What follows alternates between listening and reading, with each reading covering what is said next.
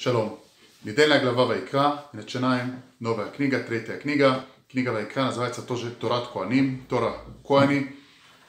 Там рассказывается по жертвоприношению и остальные законы Куани.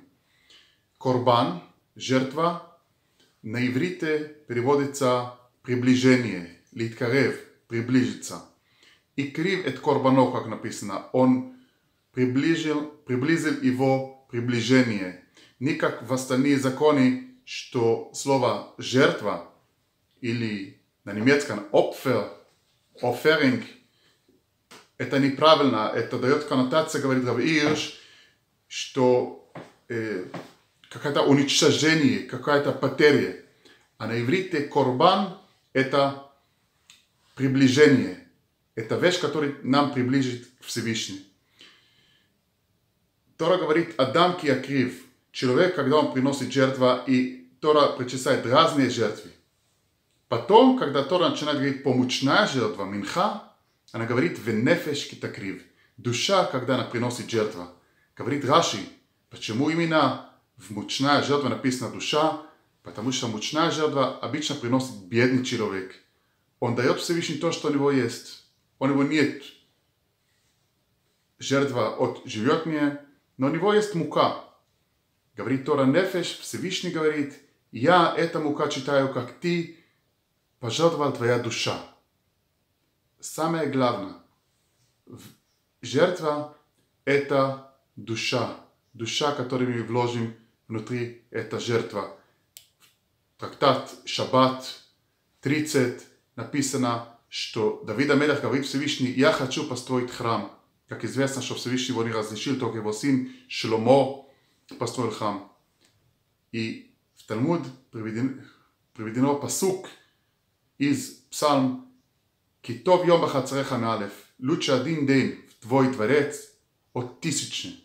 И Талмуд объясняет, что Всевышний говорил Давид, один день, который ты сидишь и учишь Тора, мне важнее, чем тысячи жертвы на жертвенник, который будет принести твой сын Шломо. Самое главное в жертвоприношении это наша душа, то, что мы пожертвуем Всевышний. Трактат Брахот 32, ואמר רבי אלעזר, גברית רבי אלעזר, גדולה תפילה יותר מן הקורבנות.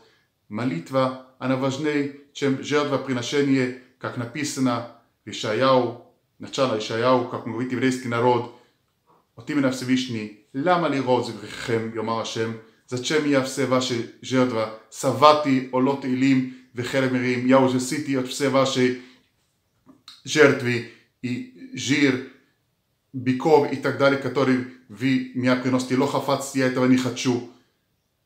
Есть известный спор между Рамбам и Рамбан, зачем вообще Всевышний нам приказал принести жертвы.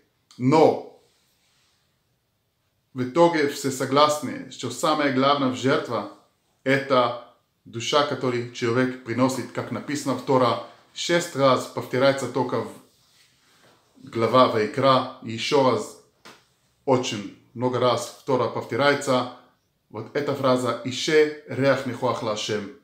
Агнопалимие, благоухание Господу. Агнопалимие, благоухание Господу повторяется все время это слово, что самое главное в жертва это дух. Мальбим на главе Ноах.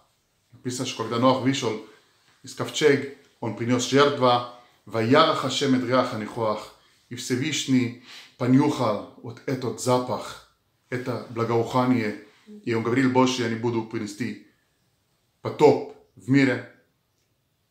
Объясняет Мальбим, что реах, запах на иврите, от слова руханиют, от слова духовность. Это имеется в виду, что Всевышний от жертва он берет духовность, твой духовность, твое сердце, твои мысли, которые ты сунул в это жертва.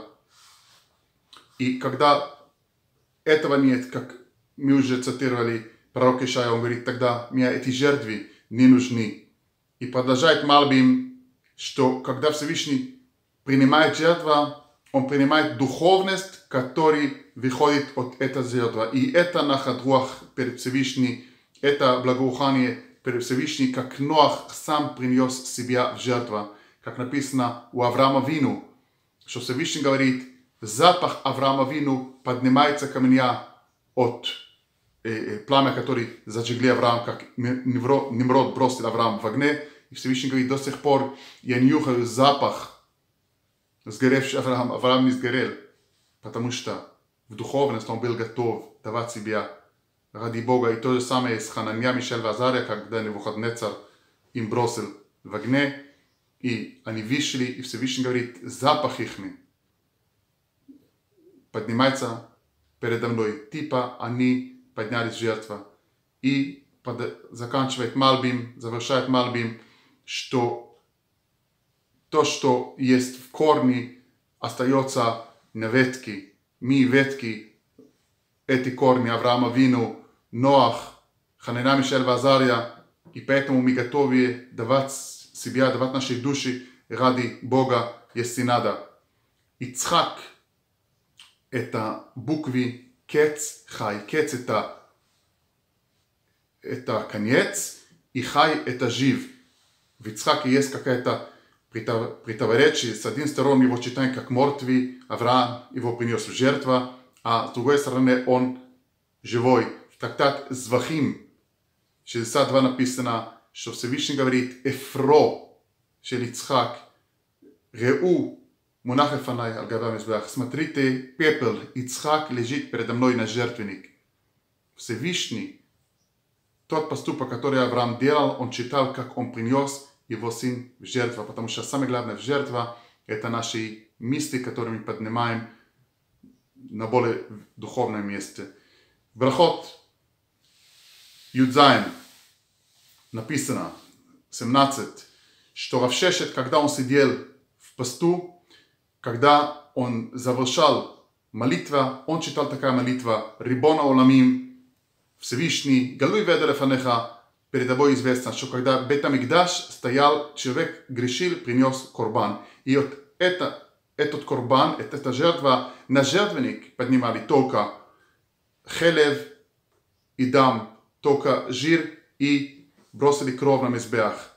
И ты искупил человеку его грех. ועכשיו, а теперь, что я сидел в пост, и я уменьшил мой жир и мой кровь. И рацион לפניך дай Бог, или я прошу перед тобой, что этот жир и дом, который уменьшился из-за пост, что он считался перед тобой, как я его принес жертва перед тобой на жертвенник, и ты принял моя жертва. И как говорит Шмуэль, Шауль, когда он принес много там э, стадий из Амалек, и он говорит, это все я хочу принести в жертву перед Всевышней. И Шмуэль ему говорит, טוב שמוע מזבח טוב, להקשיב מחרב אלים. слышит голос Всевышний. Лучше, чем любая жертва. Лякшив, слышать внимательно Михаила Велим, любая жир, который ты можешь принести. Тогда дай Бог, что мы действительно принесли Всевышний настоящие жертвы от глубины сердца. Шаббат шалом.